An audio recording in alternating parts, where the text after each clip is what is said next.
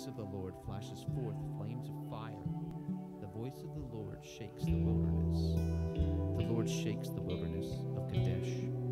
The voice of the Lord makes the deer give birth and strips the forest bare. And in his temple all cry, Glory. The Lord sits enthroned over the flood. The Lord sits enthroned as king forever.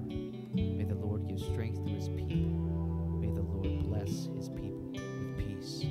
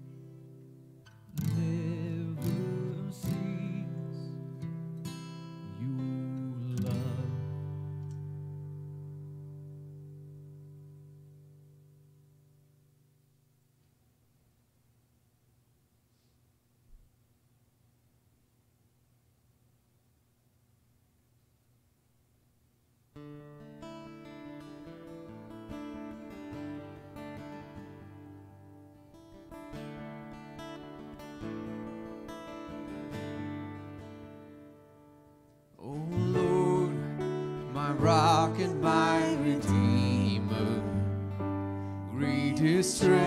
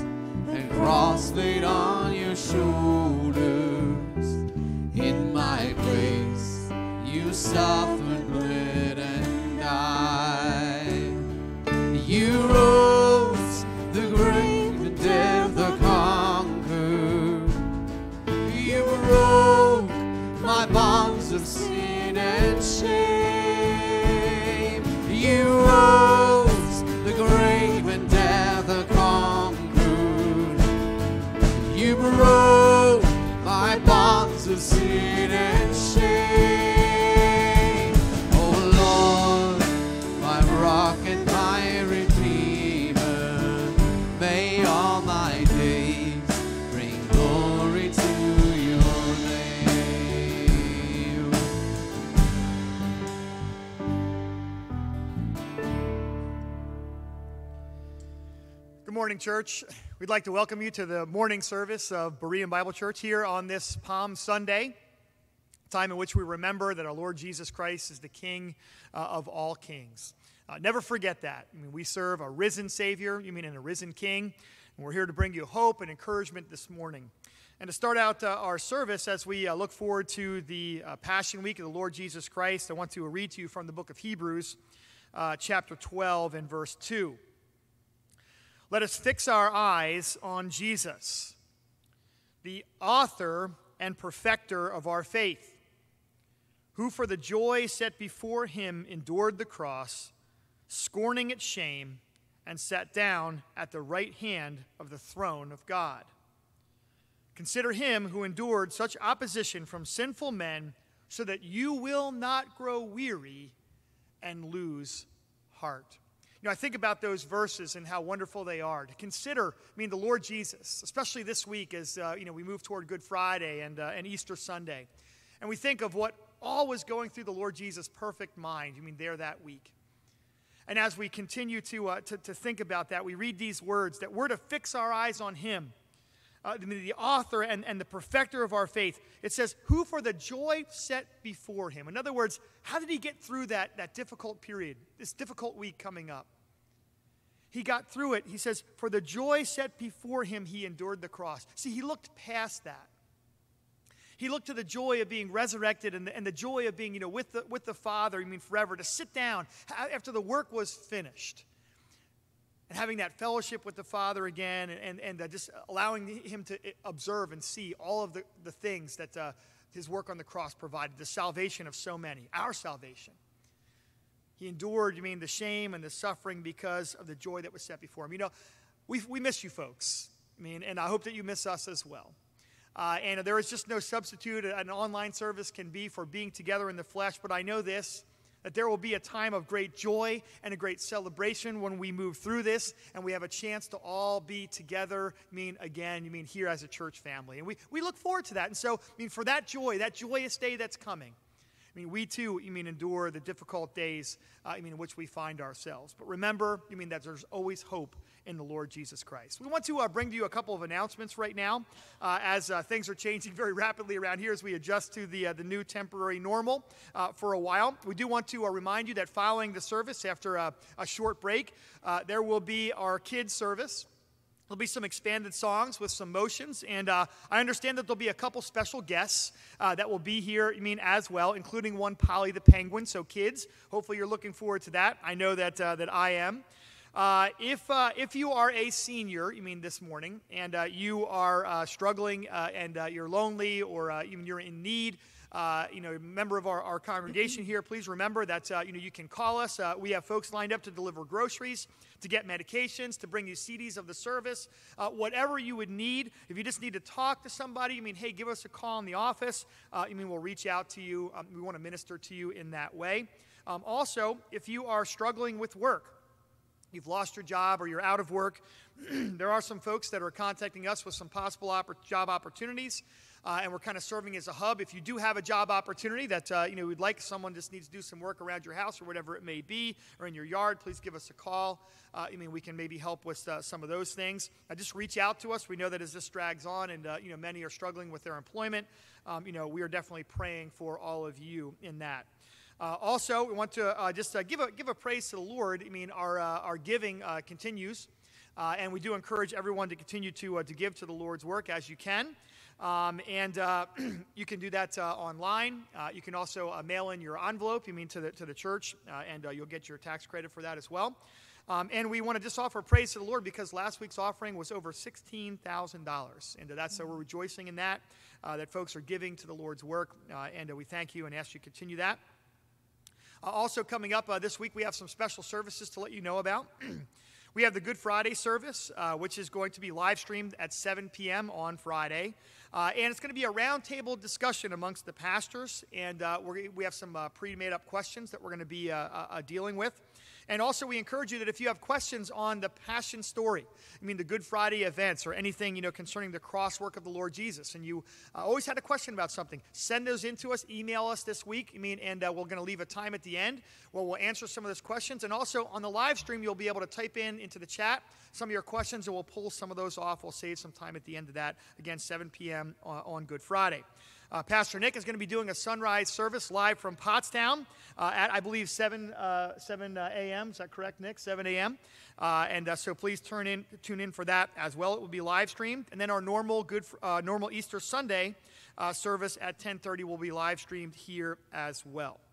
also, just throughout the week, a couple things. Youth group uh, will be live streaming on Tuesday as well, 7 p.m. Uh, contact the church office or Caleb directly. Uh, he's using Zoom as the platform for that, uh, and uh, he will get you the password to get your uh, teenagers in there. also, men's group is doing some things online as well at 7 p.m. on Tuesday evenings. You can contact the church office or Earl Lynch, you know, for how to get connected with that. And uh, the ladies' Bible studies are also continuing. Uh, I mean, and um, they're going online as well on Tuesdays. Uh, you know, one in the morning at 10:30 and another at 7 p.m. in the evening. Um, you can uh, uh, call the church office for the information about how to get connected with that also. Uh, and I mean, then if you are uh, just joining us or watching us and you're not part of the Berean family, we've been uh, you know giving a lot of salvation messages, and you're not sure about your relationship with God or how you can know Him personally um, we, uh, we would you know, just ask you to reach out to us I mean, and give us a call. And our church information is, uh, you, know, you contact us on our website. The information is on the screen for you. Uh, and um, one last thing that uh, I'm also going to be doing a, uh, three to four part series uh, on the book of Habakkuk and how it relates to our time. It's shocking, really, how relevant uh, these uh, books written thousands of years ago are, and I'll be posting them up. Probably on our YouTube channel or our Facebook channel as well, so you can take part in those and enjoy those this week. Uh, and uh, so, uh, you know, with that, we're going to turn it over to Pastor Caleb for the scripture reading and prayer.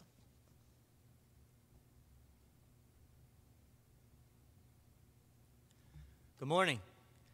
Our scripture reading is found in the book of Luke this morning, and we'll be reading verses 28 through 44. It says this After Jesus had said this, he went on ahead, going up to Jerusalem. And as he approached Bethphage and Bethany at, at the hill called the Mount of Olives, he sent two of his disciples, saying to them, Go to the village ahead of you, and as you enter it, you will find a colt tied there, which no one has ever ridden. Untie it and bring it here. If anyone asks you, Why are you untying it? say, The Lord needs it. Those who were sent ahead of those who were sent ahead went and found it just as he had told them. As they were untying the colt, its owners asked them, Why are you untying the colt? And they replied, The Lord needs it. And they brought it to Jesus, threw their cloaks on the colt, and put Jesus on it. And as he went along, people spread their cloaks on the road. And when he came near the place where the road goes down the Mount of Olives, the whole crowd of disciples began joyfully to praise God in loud voices for all the miracles they had seen.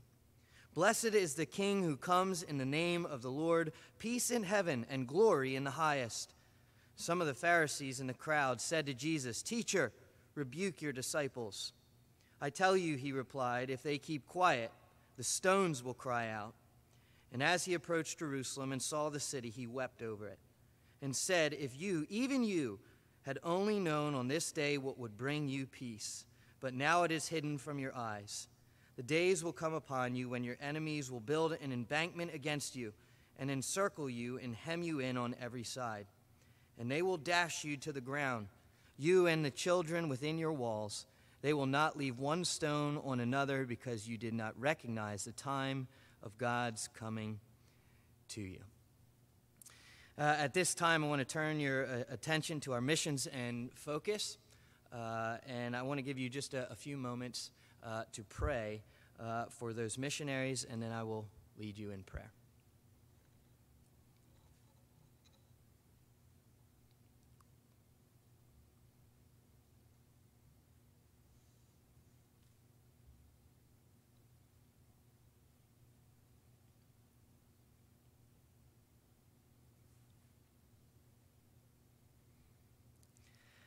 Dear Heavenly Father, Lord, we uh, do just thank you for being a great God, uh, a sovereign God, a God who sits on his throne. Uh, Lord, and we understand that the, even in the, the, current times that we live and uh, looking around, we, we see panic and chaos and fear. But Lord, uh, again, you, we recognize that you are in total control, that, that none of this has taken you by surprise. Lord, that uh, you knew of this long ago. Lord, you know the outcome. Lord, you know how long this will last. And Lord, we just trust in you. We trust that, uh, Lord, even in this, even uh, in the midst of this virus, that you are uh, bringing about your plans. Lord, that you are working this all together uh, for our good and, and, for your purposes. And Lord, we uh, pray for those this morning who, who are sick, Lord, who are struggling financially, physically, emotionally, mentally. Lord, we, we uh, ask that you would draw near to those uh, who are brokenhearted, to those who are downcast, that you would show yourself in a mighty way. Bring them peace and comfort. Lord, we uh, do thank you uh, that even though we're unable to meet together uh, physically, we do thank you for the technology to, to at least live stream and, and uh, Lord, bring forth your word in that way.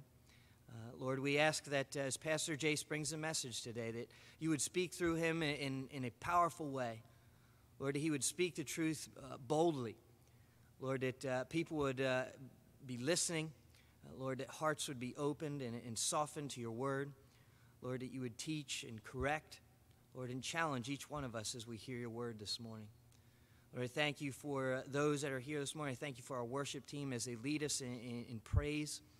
Lord, that uh, even in difficult times, Lord, you are worthy of praise. It's not just the good times, but even in the bad.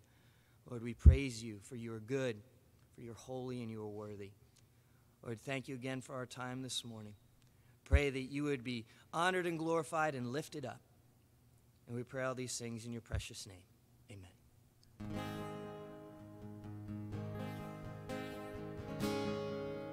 Well, good morning, everybody as already been stated this morning, is, Palm Sunday. Now, it seems a little weird not having Palm Sunday uh, with, with all of you. But I'm sure you can still celebrate it at home. So we're going to be singing together All Glory, Laud, and Honor.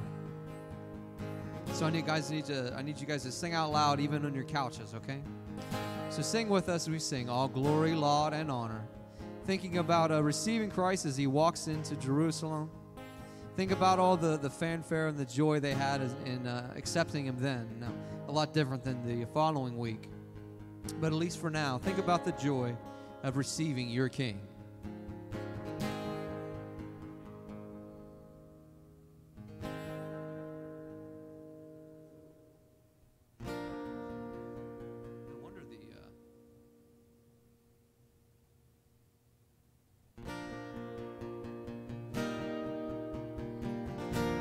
We'll edit that part out.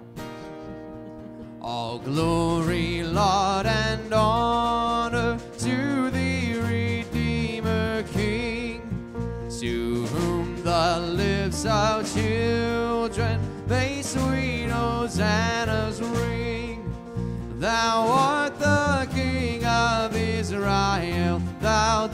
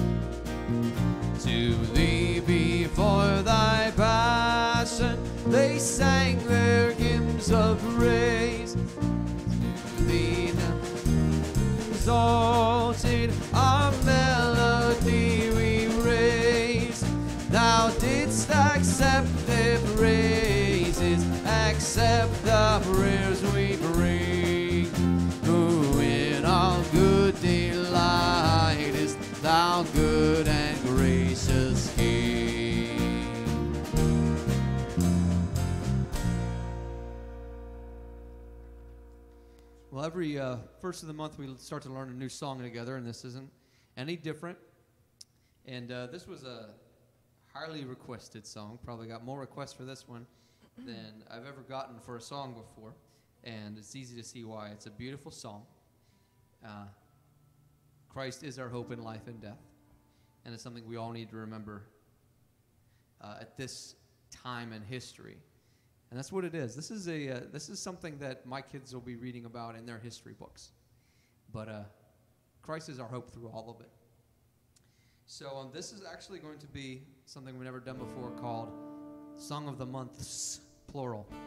In that uh, you guys will be hearing it on your computer or your device all throughout this month, but we're going to sing it together next month as well because I need I need to hear our voices singing Hallelujah together.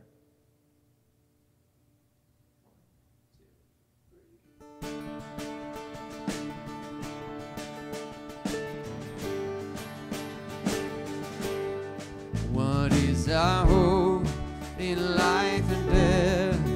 Christ alone, Christ alone. What is our only confidence?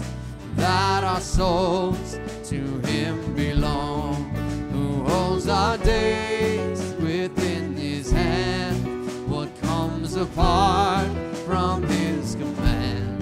and what will keep us to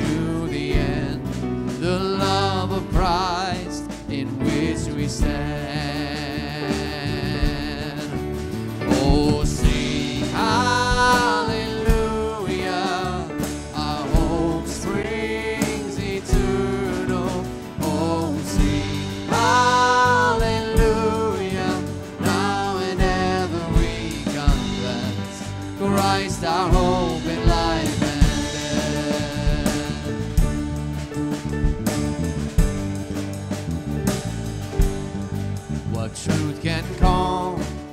troubled soul. God is good, God is good. Where is His grace and goodness known in our grace?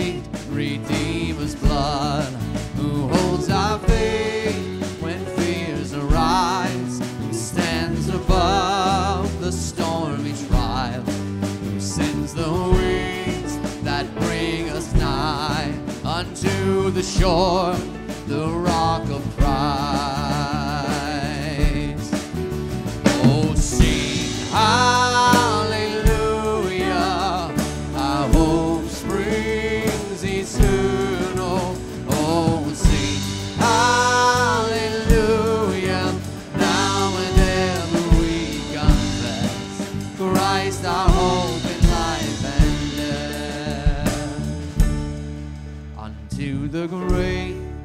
What will we sing?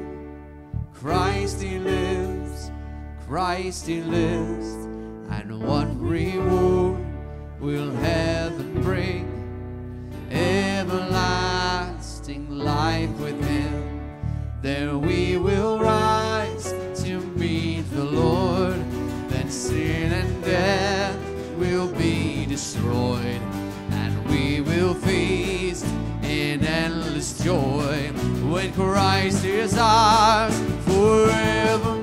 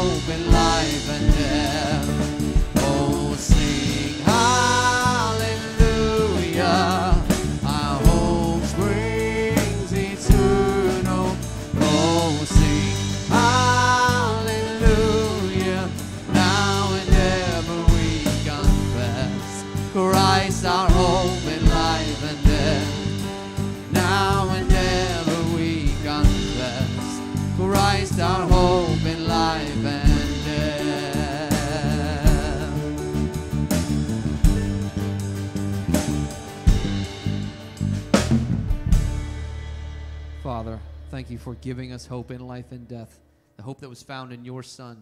May we continue to cling unto the truths of your scriptures during these hard times. Remember that you give us a future and a hope with you for eternity. In Jesus' name, amen.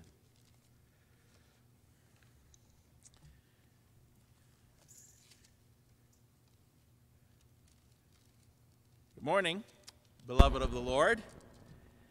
It's very difficult, especially during the what's referred to in the church calendar as the Holy Week, to uh, uh, be so separated uh, from one another.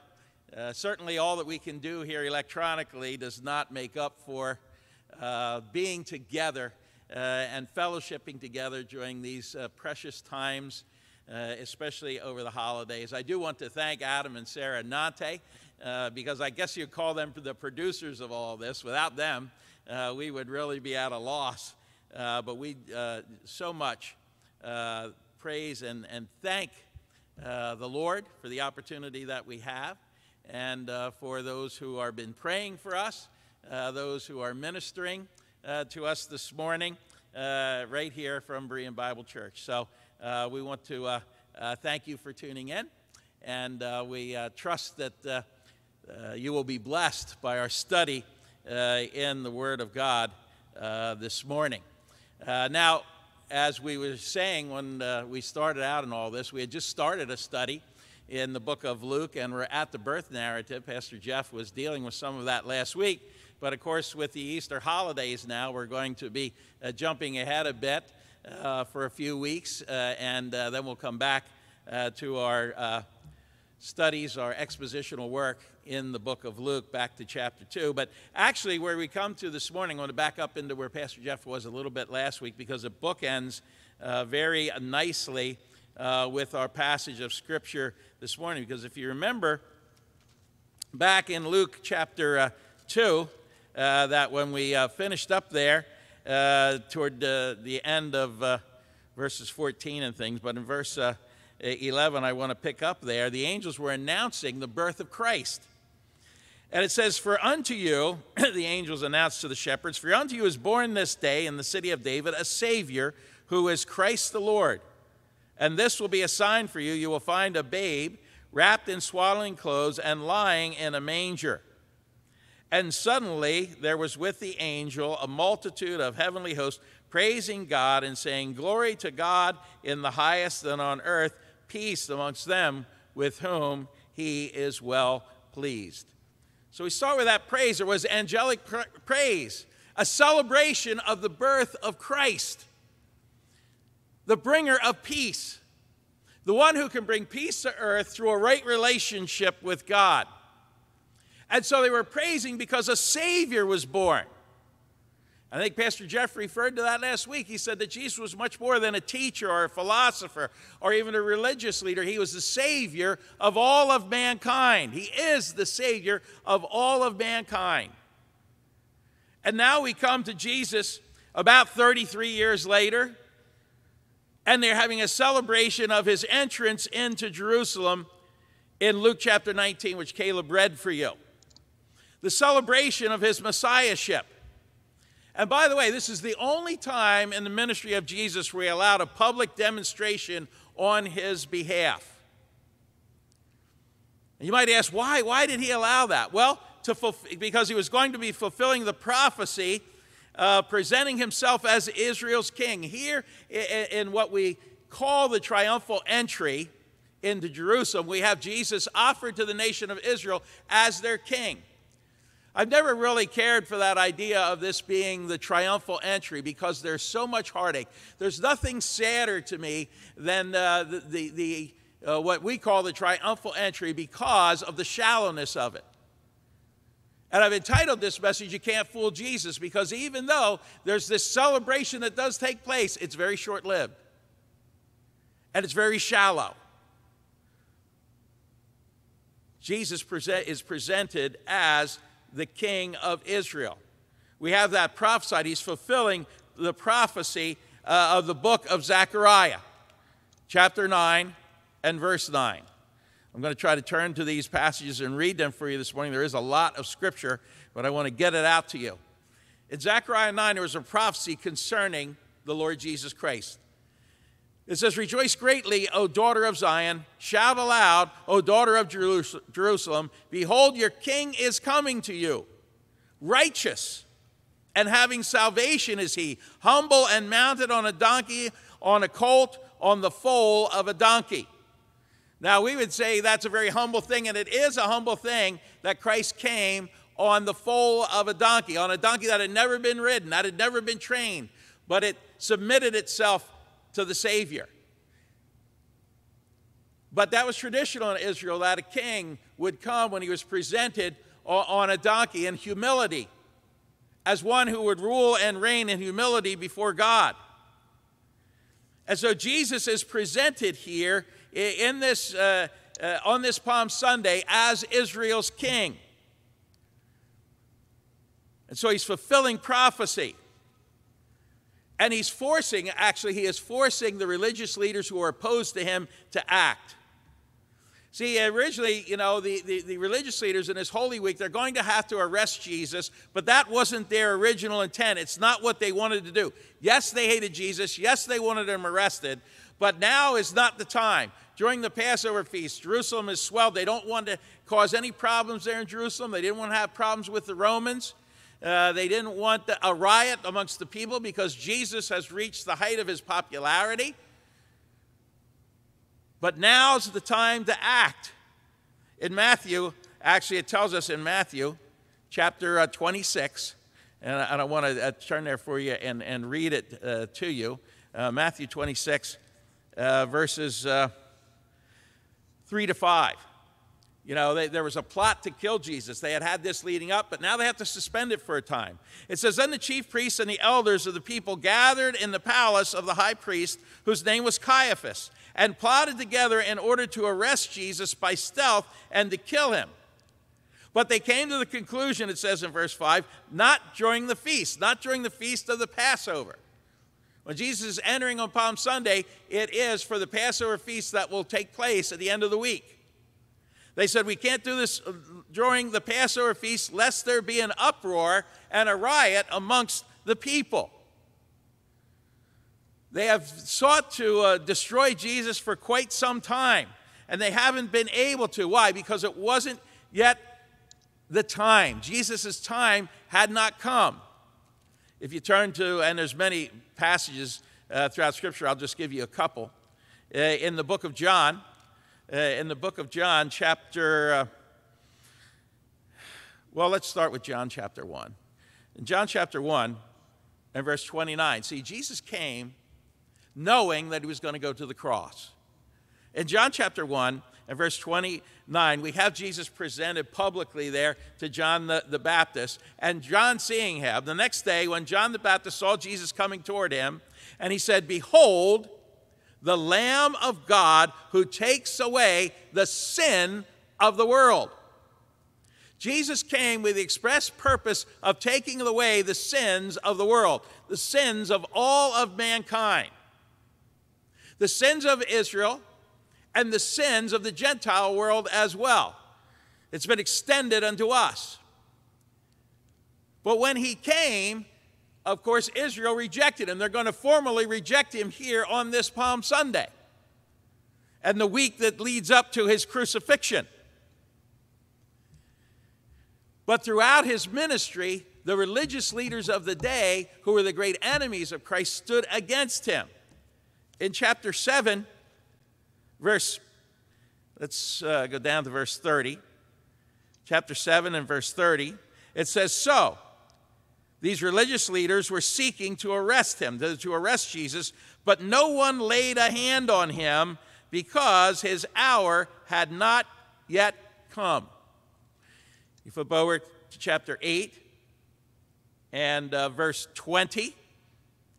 And there again it says, In these words, Jesus spoke in the treasury as he taught in the temple. He had been there earlier in the temple. But no one arrested him because of his teaching that they were opposed to, because his hour, excuse me, had not yet come. There were times they took this to stone him, and he passed in their midst. Why? Because his hour had not yet come. But now, as we enter the beginning of this Holy Week, his hour has come. His hour has approached. In John chapter 13, verse 1, it says, Now before the feast of the Passover, when Jesus knew that his hour had come to depart out of this world to the Father, having loved his own who were in the world, he loved them to the end.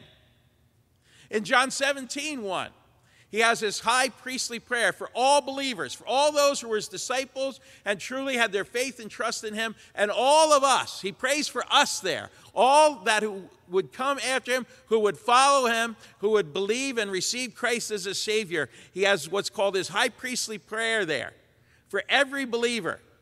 And it starts out, that prayer starts out that Jesus lifted his eyes to heaven and he said, Father, the hour has come. What? The hour for his arrest, the hour for him to go to the cross, the hour for him to pay for our sins, to become indeed the Savior of the world. And so here we see this starting to come into play. And it begins with this entry into Jerusalem. And there's a theme, there's a celebration. Who doesn't like a celebration? You wish you could be here celebrating with us. Who doesn't like a parade? And that's basically what takes place. And if we turn now back to uh, Luke chapter 19, and Caleb read for us how they were throwing their garments in the way and they were rejoicing over Jesus. And I want to pick up here in uh, verse uh, 37 uh, of Luke chapter 19 and uh, verse 37. And he was drawing nigh Already on the way down the Mount of Olives, the whole multitude of his disciples began to rejoice and praise God with a loud voice for all the mighty works that they had seen, saying, Blessed is the King who comes in the name of the Lord, peace in heaven, glory in the highest. And some of the Pharisees in the crowd said to him, Teacher, rebuke your disciples. And he answered, I tell you, if these were silent, the very stones would cry out. So the crowds are enthusiastic. Why? For all the miracles that he had done. for all the things that they had seen. And they begin to quote from the Psalm, from Psalm 118. This is a quote from Psalm 118. And it's, it's a psalm of royal entry. It's a psalm that was written to the king, to the Messiah. It's a messianic psalm, one that would be proclaimed when the time came to the Messiah. These people are seeing him as their Messiah, or the crowds were at least. But what did they understand? It's hard to tell exactly what they understood when they were doing this. As a matter of fact, take note, it doesn't say they were praising him because their Savior had come. They were praising him for the mighty miracles. They were looking for a deliverer. we don't know exactly what they understood about that, but we know uh, that there was a lot of praise here without true uh, comprehension of exactly what was taking place. See, that's what happens with a crowd. That's what happens with a mob. That's what happens when everybody runs in one direction. You know, you can get swept up in the moment and not really know why you're doing the things that you're doing. It's, it's like the toilet paper shortage, right? Everybody decided when the virus broke that you needed to have toilet paper. Now, I was able to read some articles and find out, you know where the shortage began? In Australia, of all places. That somehow in Australia, people started to make a run on the grocery stores and on all stores to buy up all the toilet paper that they could, and that thing went around the world. And people don't even know why they have two years' worth of toilet paper in their house. Why? Because everybody was buying it, so they bought it. That says something about mankind, doesn't it? And the way that we're driven and the way that we think and the way that we move. And so these people entered and people began to praise the Lord Jesus. They had great reason to do it. He had done miraculous things and he had taught things that, that they had never heard before. And he had raised the dead. He's right off of, uh, of the miracle of raising Lazarus from the dead. And so it was natural to think, this is the one we've been waiting for. This is the Messiah. But the euphoria of that moment is going to be very short lived. It's going to be very brief. Why? Because they weren't praising him exactly for the right reason. They weren't praising him with full comprehension. Yes, his mighty works, but not as the Savior. Remember in Luke chapter 2, it says the angels were praising because a Savior has been born. A Savior's come into the world to all people.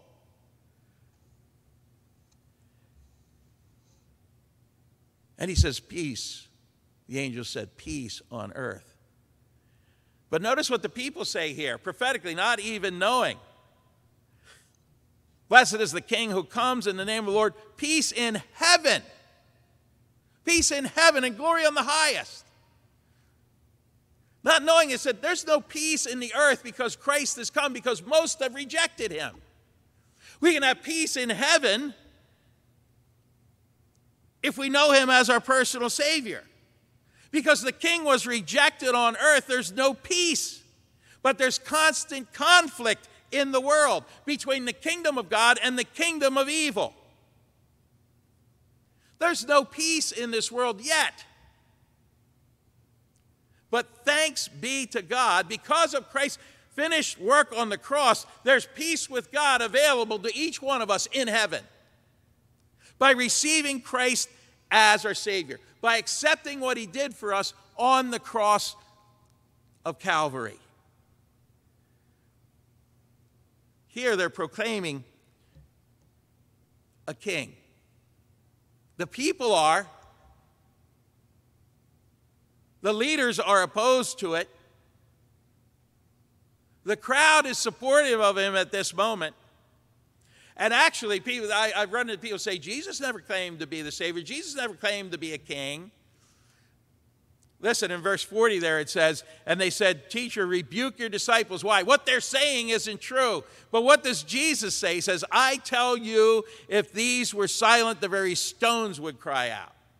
He's confirming that what they said is true. He is the Messiah, He is the promised one of God.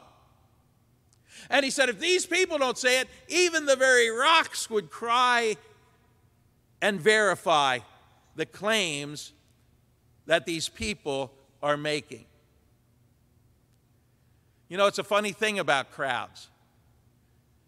They're fickle and frivolous. They're here today and gone tomorrow. Jesus would find that out. He knew it all along. It would play out as such.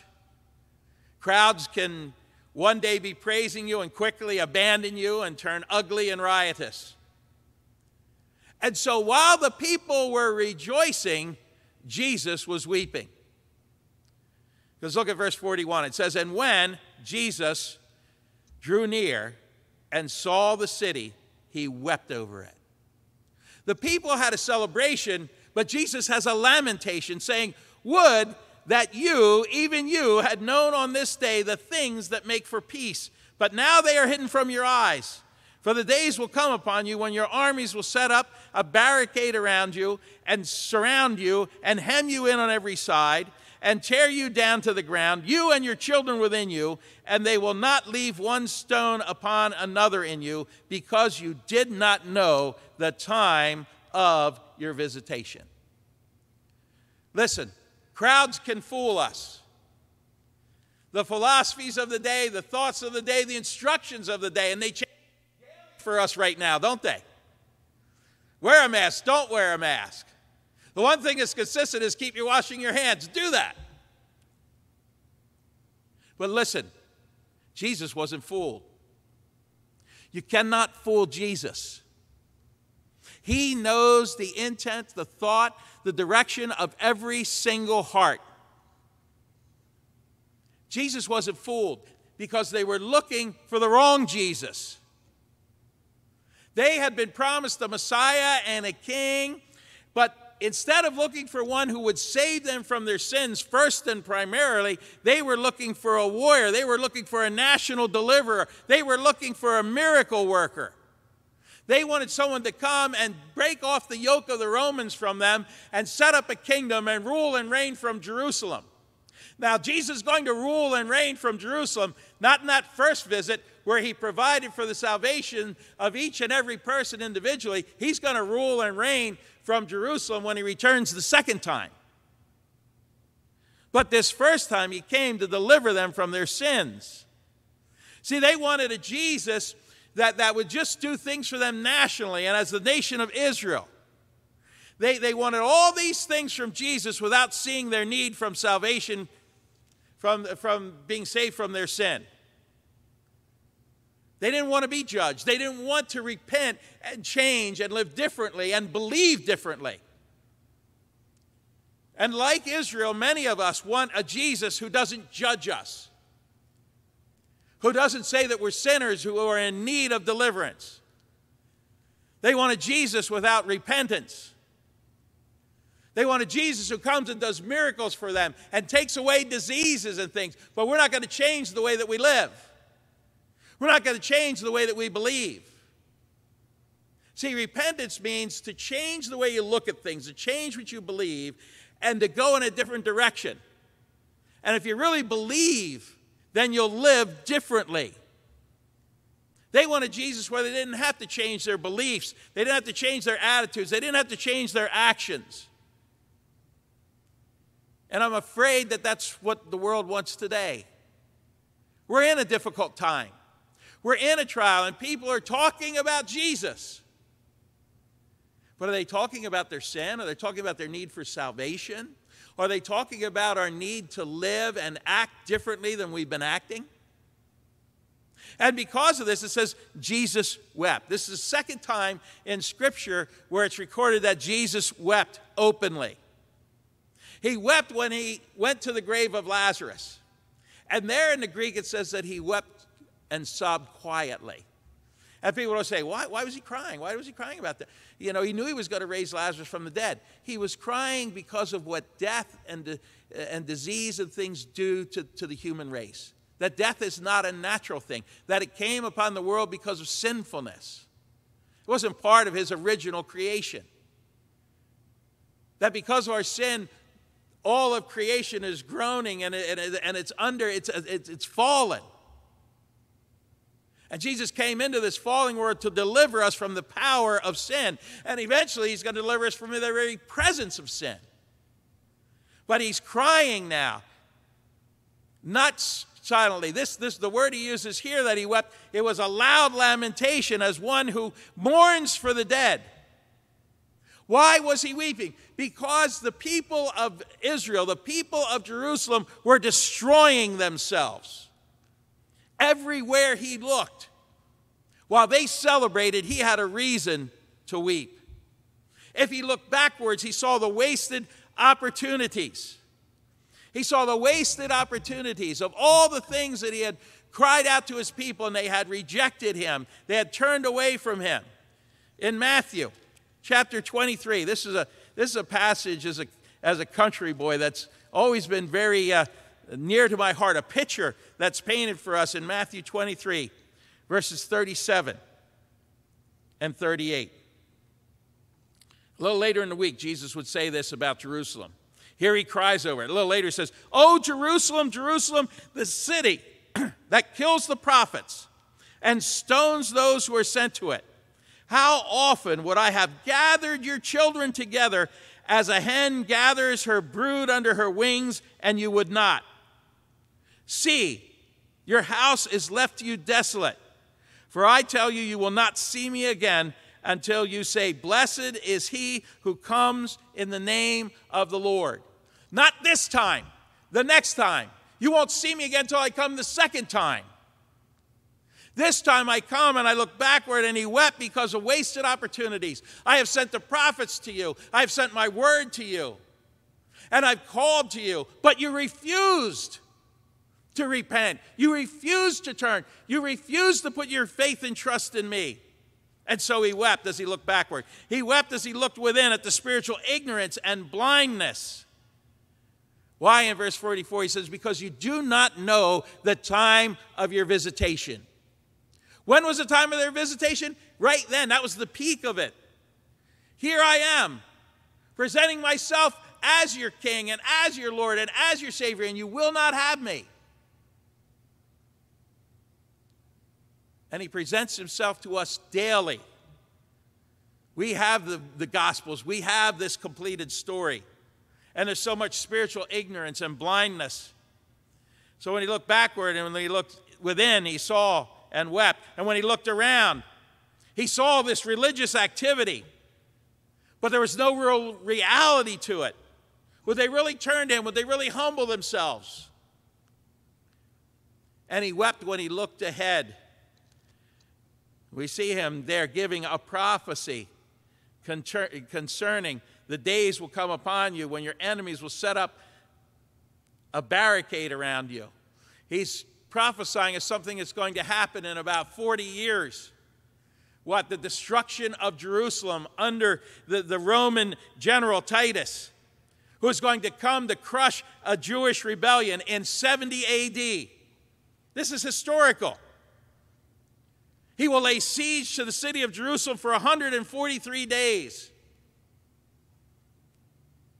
and then the city will fall. And 600,000 Jews died in the fall of Jerusalem. Thousands more were taken captive. They destroyed the temple in Jerusalem, and the city itself is completely destroyed. You talk about a pandemic. That's a pandemic of violence. And Jesus weeps for them. He laments because they didn't recognize the real Jesus. John chapter 1, verse 11, it says that Jesus came unto his own, but his own received him not. He tells a parable in Luke chapter 19, right before he enters into the city, of, of, a, uh, of a man who went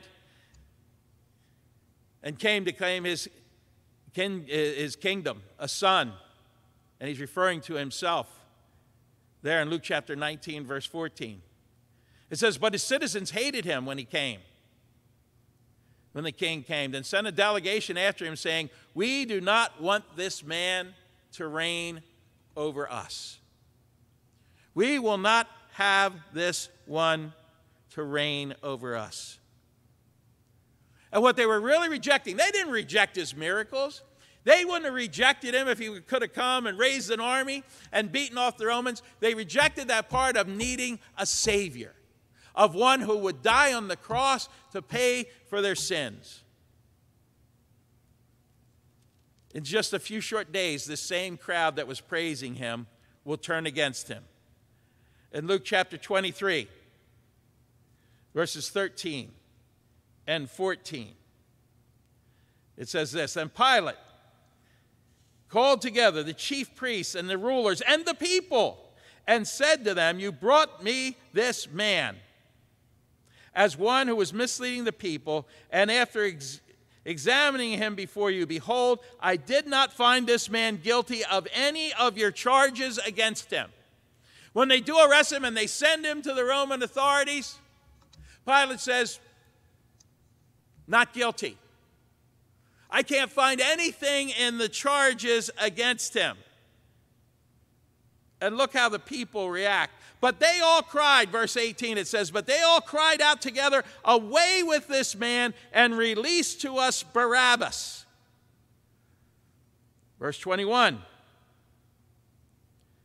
Because Pilate didn't want to do that. He said, What about Jesus? Why would you want this criminal Barabbas released to you? Let me uh, uh, release Jesus to you. But they kept, it says, shouting, Crucify him, crucify him. At third time, Pilate said to them, Why, what evil has he done? I have found no guilt deserving of death. Hey, I'll just punish him and release him. But they were urgent, demanding with loud cries that he should be crucified and their voices prevailed. That's the tyranny of the crowd, isn't it? That's the tyranny of the mob. They rejected him as the one who was to be their Savior. You see, Jesus came to bring either salvation or judgment to the nation of Israel. And it's the same for each and every one of us. Jesus cried because he said, They don't know the things that make for peace. The thing that makes for peace within our hearts and within our lives is the, is the sacrifice of Christ on the cross of Calvary. And that's what the, you know, we, we've looked at this celebration and a lamentation. Now you have to make determination. Which side are you here? Are you going to be part of this crowd that makes some noises for Jesus but really doesn't care, really doesn't know the time of your visitation and exactly who Jesus was and is? People are crying out today in our society for deliverance, especially in light of the, of the coronavirus. And it is life altering, life changing. Some have died. Some of your lives have been forever altered.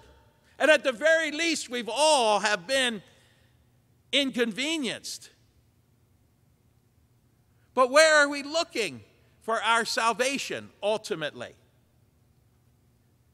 God has allowed this virus to come at the very least, and He could take it away overnight if He so desired. But most people are saying, listen, we need to look to the scientists. As a matter of fact, there was a person in the New York Times, a woman who wrote the article laying the blame for the coronavirus at the feet of Christians because we're anti scientists. We're, we're against science, they say. Are you kidding me?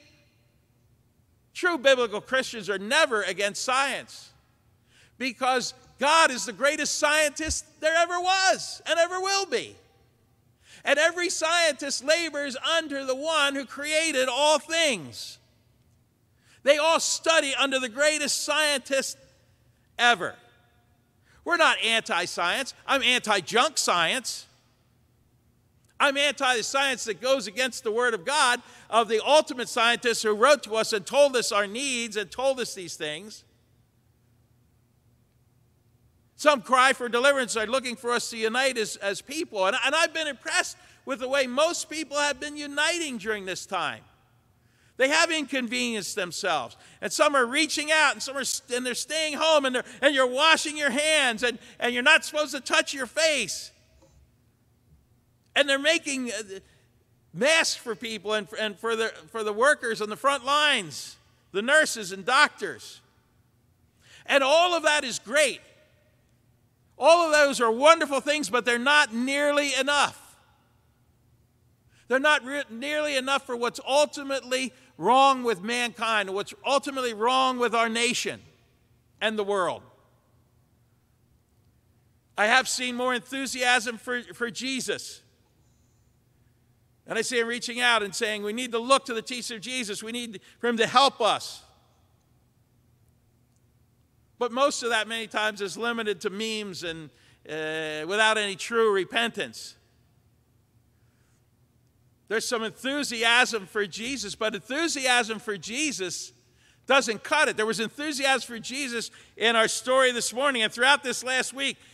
Let me share some things. It says, throughout the last week, the gospel writers record again and again the crowd's enthusiasm for Jesus.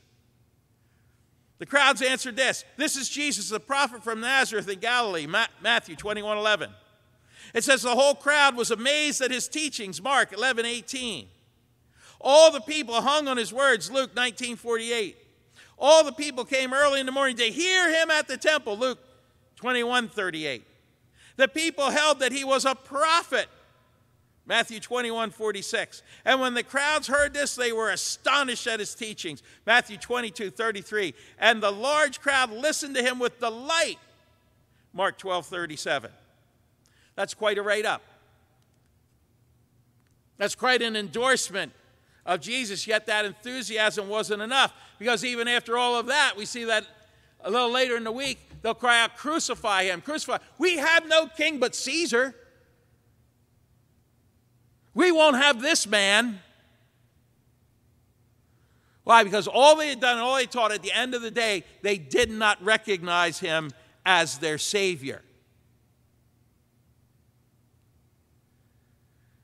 And enthusiasm for Jesus alone is not going to cut it, folks. And I hear people now saying there's a great theme with this. We're all in this together. And that's true. We're all in this together against coronavirus, but even above and beyond this, all the world is united in its need for Jesus as their Savior, as the one who came and gave himself for him. Because I'm going to tell you, they're going to get a, a, a, pill, they're going to get a shot that does away with this coronavirus or that inoculates us against this eventually. That's, that's coming, I'm pretty certain. But doctors don't have a pill or a shot for man's greatest disease, nor can they ever have it. For the disease of sin, for that which separates us from God for all of eternity, if we leave this realm of time without Him. Listen, if you're tuned into us and you've never received Christ as your personal Savior, See, you can be enthusiastic for Jesus. You can have gone to church all of your life. You can say, I'm a big fan of Jesus. But do you know him as your Savior?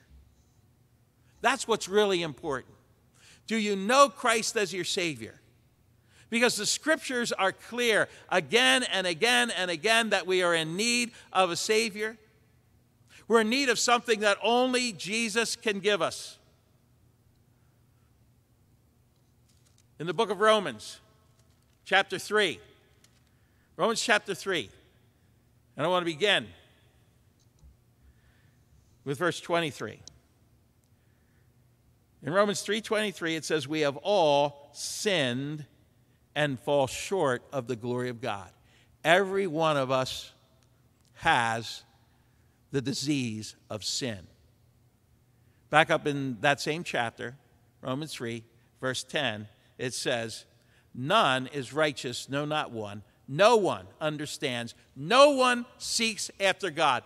Of our own accord, of our, left to our own devices, none of us is righteous. None of us is worthy of heaven. None of us understands. None of us seeks after God. Verse 12 says, We have all turned aside. Together we have become worthless. No one does good, not even one. What's that tell us? We're all sin sick.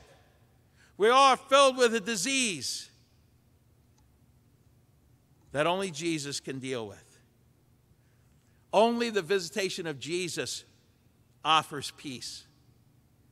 That wonderful theme of all scripture John 3:16 says that God so loved the world that he gave his only begotten son that whosoever believes in him should not perish but have everlasting life. Jesus came to provide life. That was prophesied back in Isaiah 53, verses 4 to 6.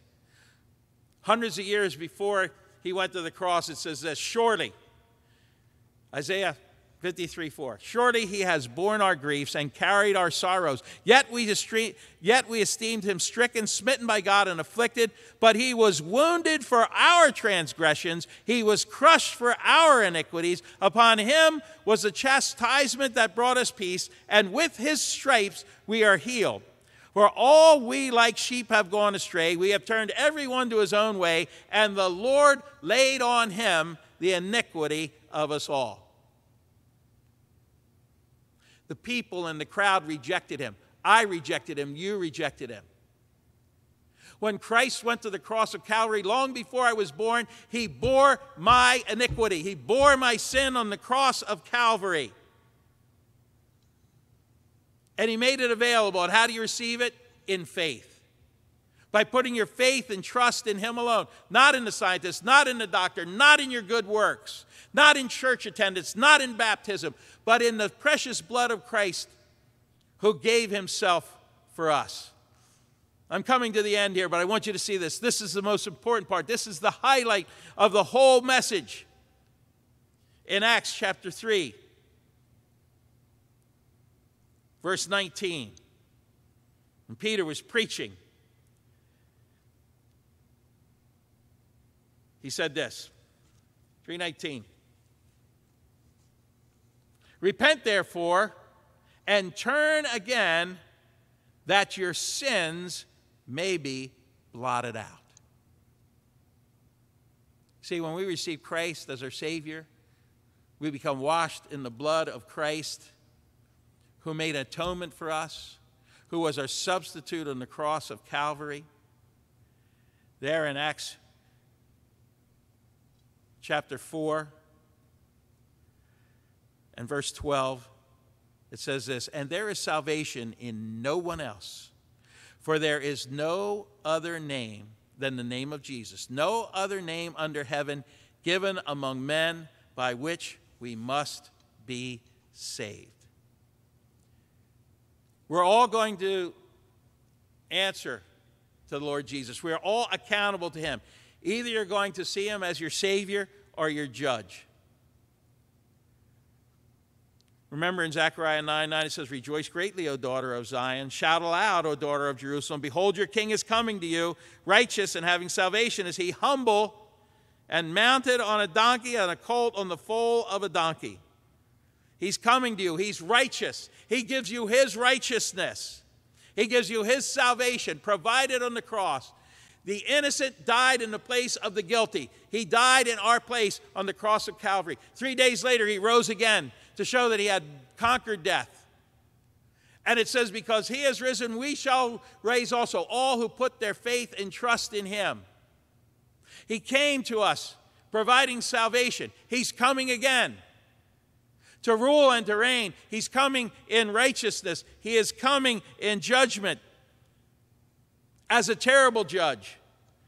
It's recorded for us in Revelation chapter 19. An awesome passage. And it's wonderful, you know, Christ is your Savior, but it's terrible if you do not. For it says, when he comes back in the second time and he comes as a judge, it says, Then I saw heaven, and behold, a white horse. And the one sitting on it is called faithful and true. The one sitting on it is Christ, who is called faithful and true. A white horse, a war horse.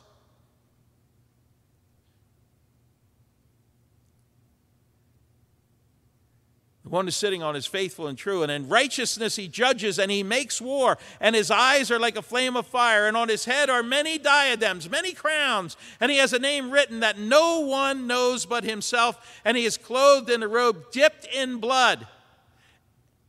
And the name by which he is called is the Word of God, the living Word of God. And the armies of heaven, arrayed in fine linen, white and pure, were following him on white horses. Listen, if you know him as your Savior today, you're going to be on one of those white horses following him. What a wonderful and glorious time.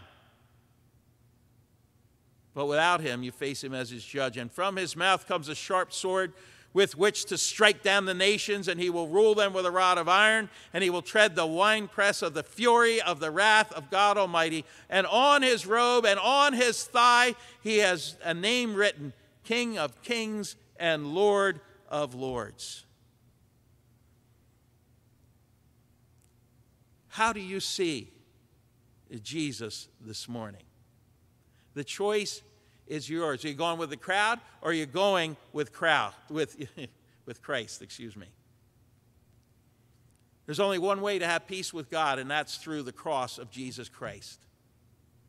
The crowd wound up rejecting him. Even though they made some wonderful noises at a certain time, they rejected him. And I've got to believe, do you think that the Lord Jesus is in heaven even now, weeping over our nation, weeping over our world, Yes, it's a terrible thing that people are dying. As I looked this morning, the number of confirmed cases in the United States of America 311,000 confirmed cases, 8,500 dead. But then I looked at how many abortions there were in this country. The closest figures I would come were 2018 876,000 babies were aborted in the United States of America that year. That's 73,000 deaths a month. We've had 8,000 in about a month, and that's, that's a terrible figure. But month in and month out, if we are, uh, if we are averaging 70,000 deaths of unborn babies and have no repentance for that, no repentance for lifestyles that completely ignore the Word of God, We're a nation in need of repentance, and we're individuals in need of repentance. Individually today, you're, you're given that choice to choose. Which way you're you going to go? The way of the crowd, who just wants a Jesus who's going to do miracles for them and provide things for them and give them cars and boats and, and, and healings, but no change in our attitude, no embracing the Word of God, no turning away from our sin as a nation as, and as individuals. I finish with Matthew chapter 7. And look, be good Bereans. Go over this. Check everything that I've said and see if it's not true. Search the scriptures daily. Because Jesus is the living Word of God. Everything that He says in us here has been inspired by the Word of God and is for our instruction and our teaching and raising up in righteousness. Matthew chapter 7, verses 13 and 14. Jesus laid out this choice for us. He says, Enter by the narrow gate, for the gate. For the gate is wide and the way is easy. There's two roads, there's two gates. There's a wide gate and an easy gate that leads to destruction, and those who enter in by it are many. But the gate unto life, unto eternal life, is narrow, and the way is hard that leads to life, and those who find it are few. It was a hard slog for Jesus. He had to go to the cross of Calvary on our behalf. And all we have to do is receive him. But to those who received him, he says, the nation rejected him as whole, but those who received, to them gave he the power to become the children of God. Are you a child of God? Are you a child of God this morning? All you have to do is admit and acknowledge that you're a sinner and then receive the one who gave himself in your place. He died for you and he loves you. And he weeps and laments if you do not come. But he is a righteous God. The choice will be yours. If you do not follow him and allow him to become the king and the Lord of your life, the Savior of your life, then you will face him as your judge. And that judgment lasts for all eternity. Make that decision. If you have questions about it, call us at the church. Visit our website. Seek out the truth because it's far, far, far more important than anything else you'll ever do in life. Let's pray. Our Heavenly Father, oh, how we thank you that we have one who came to be our Savior A God who loved us so much that he took on flesh and came and gave himself on our behalf. And I pray, Father, that every person listening, all of us would know the time of our visitation. That, Father, even now, some have maybe never heard that Jesus came to die for their sins. This is their time of visitation. Help them to know the ways of peace, the ways of peace with God. For when we have peace with God, then we have peace with people around about us, and we have peace with the world, and we have peace with the trying times in which we live. For Father, we know, even as the word says, though he slay me, yet will I trust in him, that we have life and have it everlastingly through Christ. And Father, we have abundant life, glorious life, precious life. We pray, Father, that all those round about us might know it. Take, Father, these scourges from our land. Heal it, Father.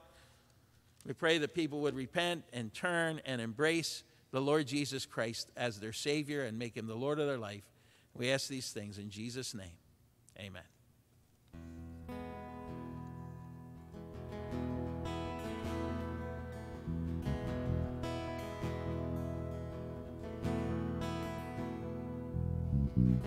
I see the King of glory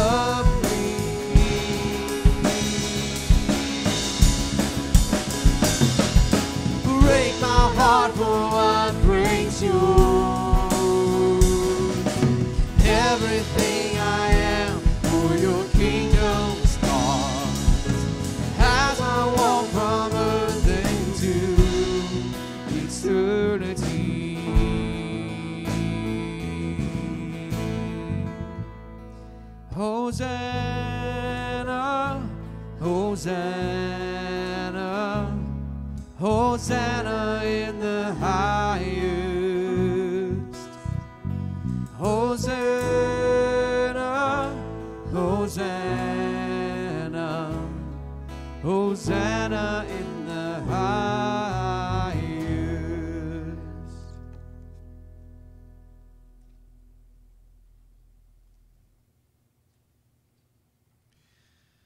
time for our communion service. So, if you'd uh, like to join us with that, uh, we would invite you at this time to uh, take out your elements, uh, go grab those, the juice and the bread.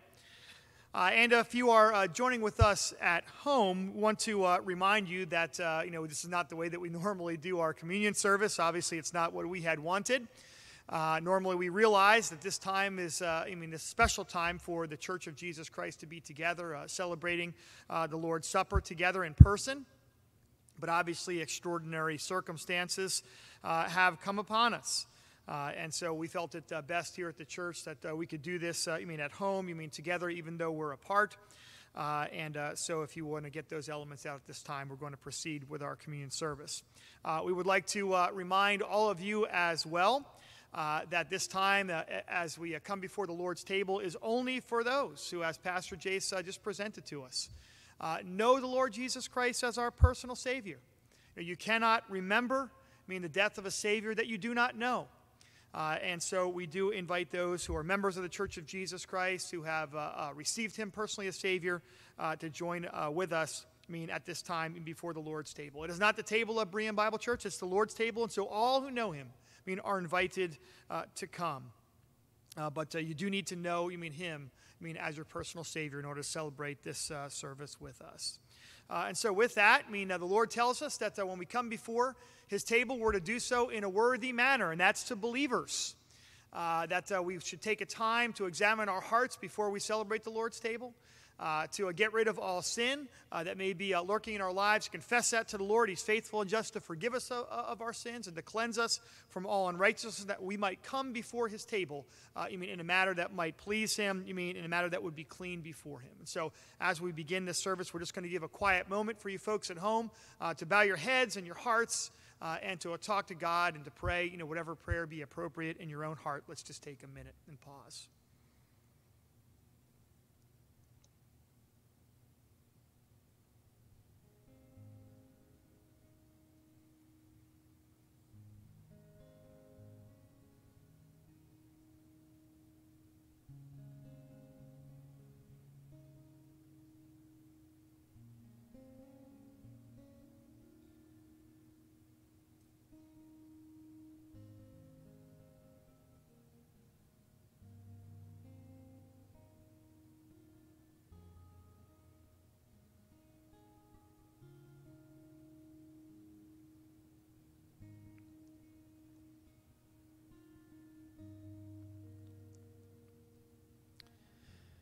In Jesus' name we pray.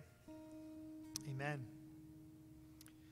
I would like to take you back to that final week of Christ's crowning sacrifice. Thousands of people were crowded in the city of Jerusalem to celebrate the feast. And about uh, you know thousands of years ago now, on this very day, the Lord Jesus comes riding into the city on that donkey's foal. And as he crests over the Mount of Olives, as Pastor uh, talked to us about, he sees the city. Uh, and he begins to weep over it because he knows, being the infinite God, what is about to take place. That many would be rejoicing and shouting, Hosanna, but really in their hearts, they were going to reject him. That as he had come unto his own, that his own would not be receiving him, that many would turn their hearts from him, and just one week later, will be, crowd, will be shouting out for his blood. And so Jesus, uh, I mean, sometime during that week, sends out, I mean, his disciples uh, later on to be able to prepare and make reservations for the upper room so that he might celebrate the Passover feast, uh, his last Passover feast, with those, I mean, that he came to love so much in this world. And the scripture tells us, I mean, about this Passover meal just before his suffering.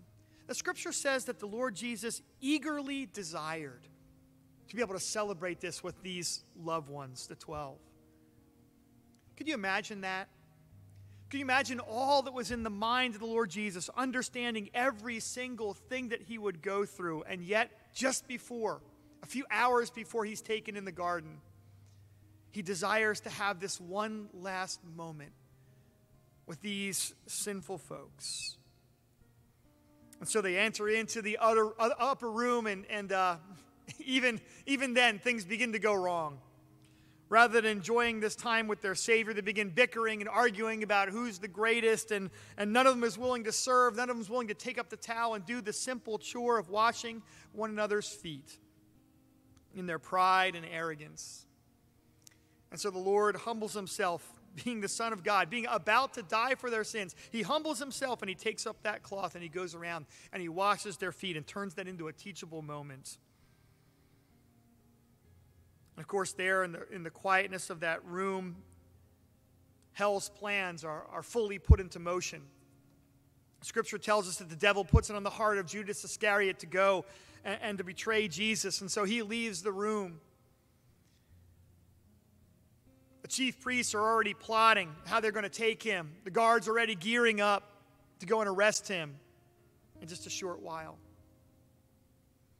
And into the chaos of all of this, in that last meal, as the men sat around that table and looked to their Lord, he takes the unleavened bread, quiets these folks down, and he makes an amazing statement. He says, this bread is the symbol of my body. which is for you. And the idea there in the text is, which is given for you. I wonder how much the disciples understood. Oh, Jesus had told them about his death. He had predicted what would happen, but I, I, think it would be very hard for these men to get their minds around all of that and what was about to transpire in just a few hours. This bread is given for you. And we know that that bread represented his body, which he would allow to be broken, which he would allow to be, be torn asunder, his flesh, for the sins of the whole world. Not only the sins of the folks there around that table, but ours as well, thousands of years later. Oh, what love. Oh, what mercy. Oh, what forgiveness exists in the heart of the Lord Jesus Christ. That on that night, He would give us these symbols to remember, thousands of years later, what He did for us. And so, with that, would you please at home take the bread? And remember again that this bread is the emblem, the symbol, a representation of the body of the Lord Jesus Christ that was given up for us and for our sacrifice.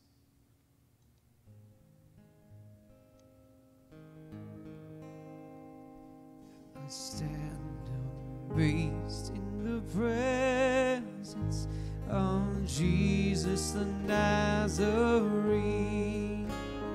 and wonder how he could love me, a sinner condemned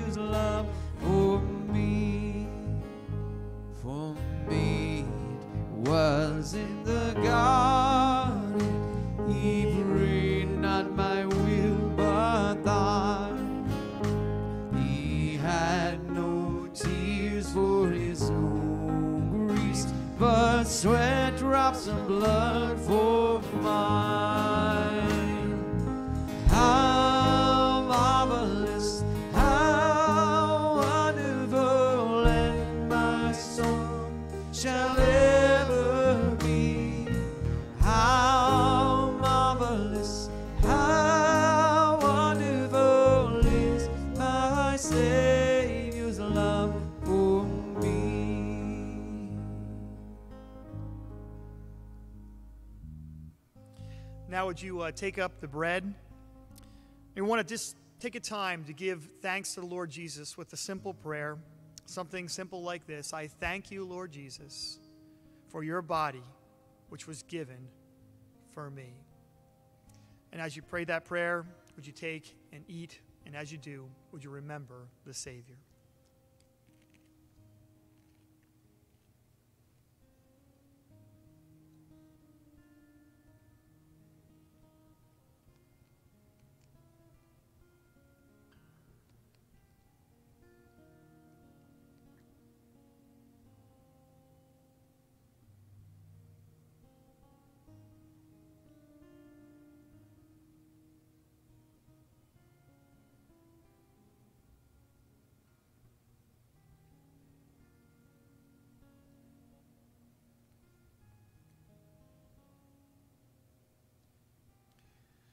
Now, after the Lord Jesus passed out that bread and the disciples ate, he also took up the cup.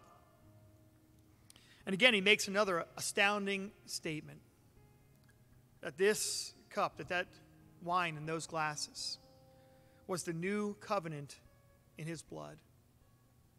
And he gave to us a second symbol to remind us of what he was about to do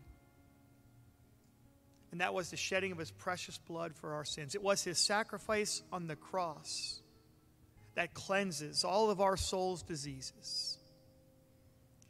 If you're at home and you're joining us for this communion service, and as you look at that cup and you look at that liquid, you're reminded of the blood of Christ, which is the only antidote to that poison of our soul.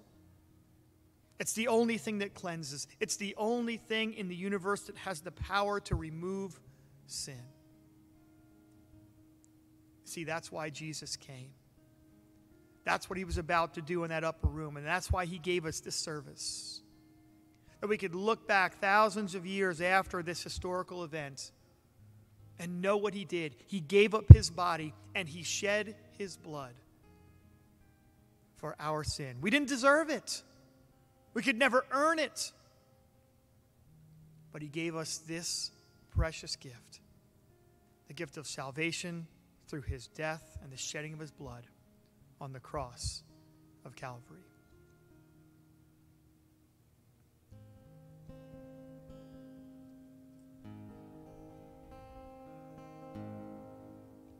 In pity, angels beheld it and came from the world of light to comfort him in the sorrows he bore for my soul that night.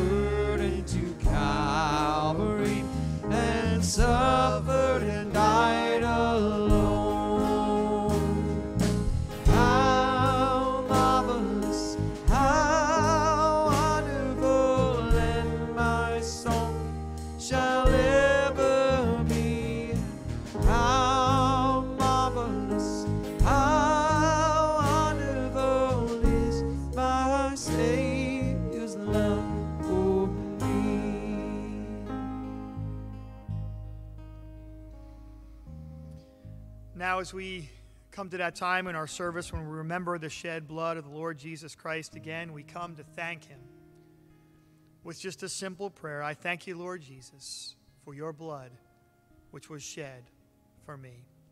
And after praying that prayer, will you drink? And as you do, remember Him who paid the price for all our sin.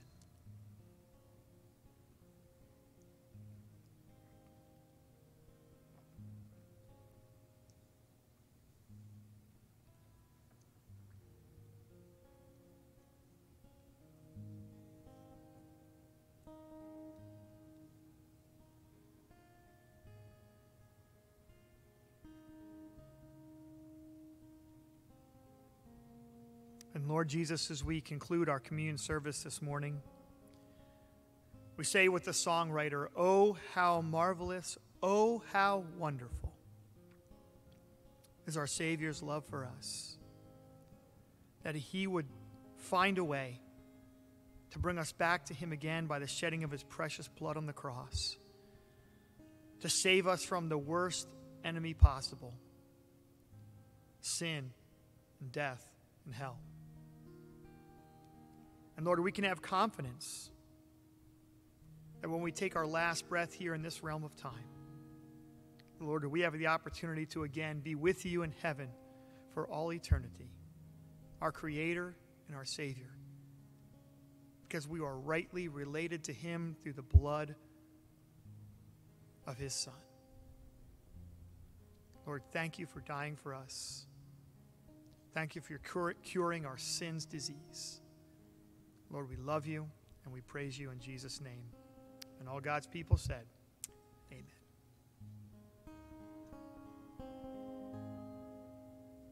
When with the ransomed in glory, His face I last shall see, 'twill be my joy through the ages to sing of His love last time, sing it loud.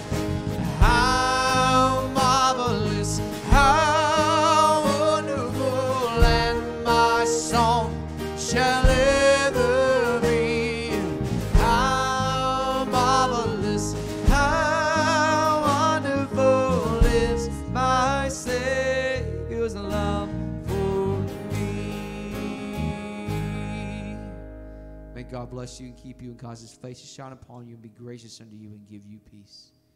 In Jesus' name, amen. Go in peace. But remember that we uh, do have our kids' service starting in just a couple minutes with some special guests, so please don't miss that. By the way, you don't have to be a kid to stick around. I saw you signing on last week, Mario Bortz, so uh, let, let's see some more of that. All right. See you later.